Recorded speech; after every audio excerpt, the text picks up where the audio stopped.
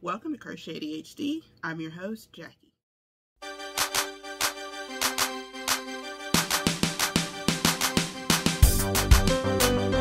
If this is your first time visiting my channel, welcome. I consider you a one-hit wonder. I'm glad you're here. If you are a repeat offender, a member of the Glam Fam, is it live or is it Memorex? Okay, okay, so here's my little rant while I'm thinking about um, uh, Flirta Stitched. On her um, Instagram, she has shown this shirt. Now, I'm saying this shirt. I'm not showing a picture of this shirt. I'm just saying this shirt. I have seen so many knitters going crazy for this shirt. And I don't understand it. Because some of the things that I hear people complain about crochet is that It's too holy.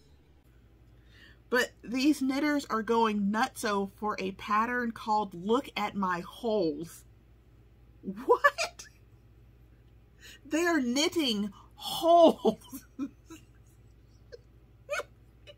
I, okay, and I have seen, I've seen a few of these modeled. I'm like, are you serious? Just because you can do a thing does not mean you should. Kudos to the designer. I I don't get it. Again, especially when the complaint I I've heard for years about crochet is that it's too holy. So it's different. Darling, it's different when you knit the holes as opposed to crocheting the holes. Make it make sense, people. Make it make sense. so far, I have not seen any of my... I, I don't get it. That's all I'm gonna I'm gonna say. I I don't get it because I mean, just crochet. If you want holes, if you want holes, just crochet. you know what I mean? Because I can I can't because I don't knit and I have not looked closely at the pattern. I don't I just I don't I don't get it. I don't understand and I don't get it. And I don't get it and I don't understand. It's not making any sense. Why would why why? And, and it's not...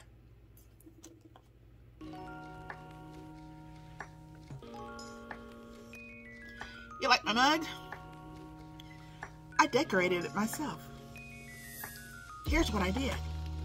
I took a big bowl of water and some black nail polish and some, what is that, teal and gray nail polish and I poured it into the container of water and then I dunked this into it. And when I took it out, okay, aside from Burt Macklin, it all stuck. Now, it's starting to peel off, but I did this like four years ago. I highly recommend it. It's very, it's very interesting.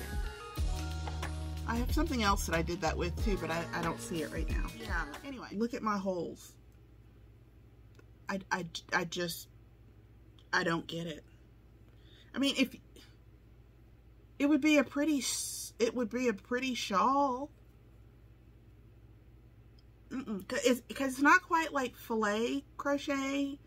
It, I mean, it's, they're like, they're holes. But, oh, a better idea. You know the rings that hold the six pack of sodas together, right? You just, like, crochet a couple of those together. Look at my hole. You know I gotta slap a disclaimer on here, right? I personally don't understand it.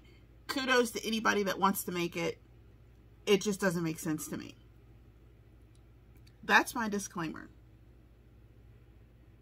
But at the same time, I'm kind of picturing crocheting some of those soda rings together. maybe maybe it's just I'm not a trendy like a trendy maker. Like I don't rush out to make something just because it's trendy. Um like I, I might show up for a trend six months after everybody else has done it. I, I don't know. I I can think I can only think of one pattern that I was so excited to get my hands on that like the pattern was released at we'll say like 10 o'clock on a Thursday and by 10.05 it was in my inbox. But, you know, I don't really count that as big.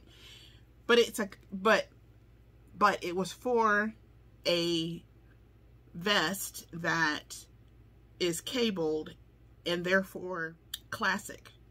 So even at that, it wasn't trendy because it's a classic piece.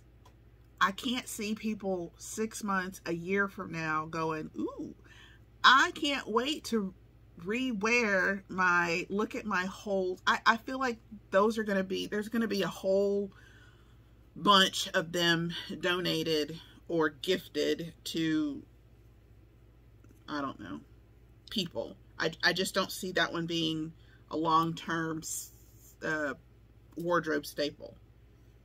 You know what you know what I mean? I mean like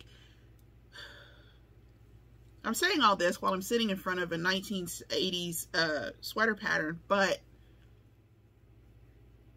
the pattern is 40 years old. Well, okay, not quite. It's 36 years old. But look how good it looks. If nothing else, people are going to want to wear it to like 80s parties or fiber festivals or grocery shopping or the movies.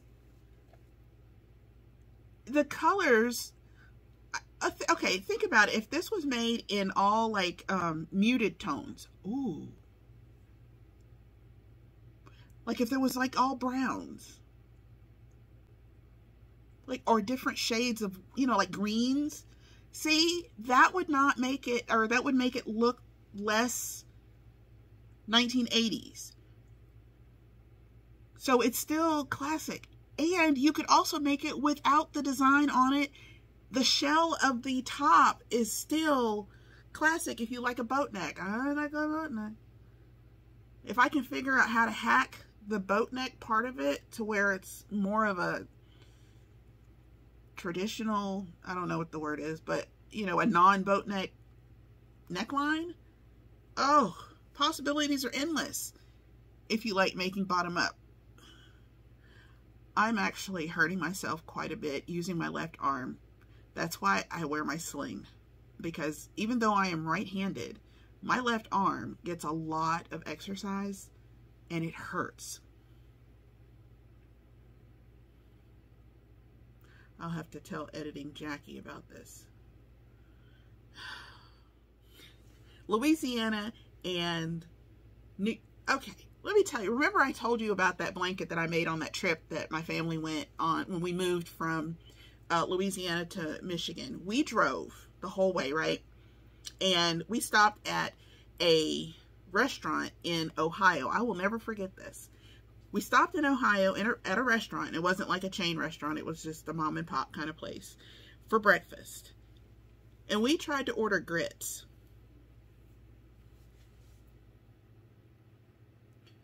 Have lived in many, many countries in my life. I've lived in many places. Now that I'm thinking about it, most of the places in the in, in the United States that I've lived was in the South. So this might be it. But when you take Southerners out of the South and you put them up north for a little while, asking for grits in a restaurant, I really thought grits were like an international thing. Or at least national they had no idea. They were like, well, we have, oh, what did they offer me? It wasn't porridge. I think, I think they offered oatmeal, but this was something, no, cream of wheat.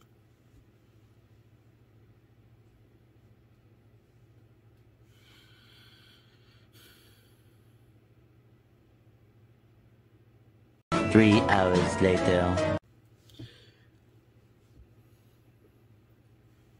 So the idea of having to go from Louisiana up to New York, upstate New York, like okay, we're we're talking almost Canada, New York. Yes, I realize it's not quite that close, but mm, I wouldn't even know how to order food.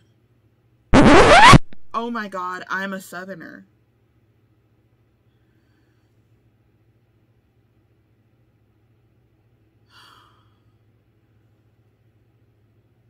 I'm a southerner, y'all. No, no, no, no, no, no, no, no, no, y'all. Oh my God. I'm a southerner.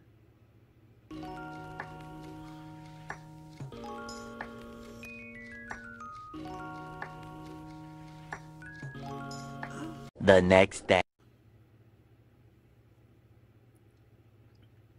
I never considered myself a southerner look, I live in Louisiana, right? And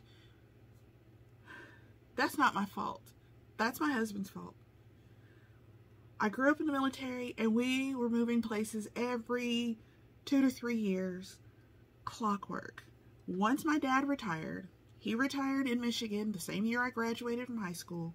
We moved back here and I was like, that's crazy. I don't want to do that. But I did anyway. And then almost a year later, yeah, I got married and moved a little over a year later. I got married and I moved to Germany because I married a military man. We were in Germany for three years. And then we moved to Texas. And when we moved to Texas, I divorced him. And then I ended up in Louisiana. And I have been here ever since. And that's been since 1998.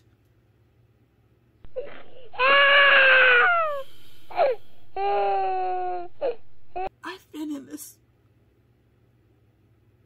state or condition since 1998. That means that simp simply because of geography, I am a southerner. I need somebody from like North Dakota to adopt me. I just. What was I talking about? Uh, what else? Was I, I was going to say something else. Maybe this is what I was going to say. If you like this video, please like this video. Share, comment below.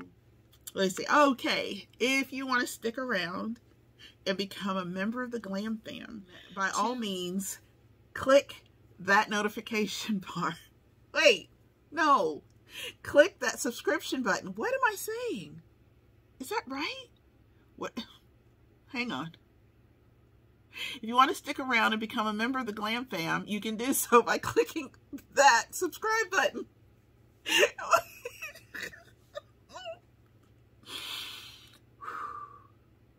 Until next time, I've been Jackie. Bye.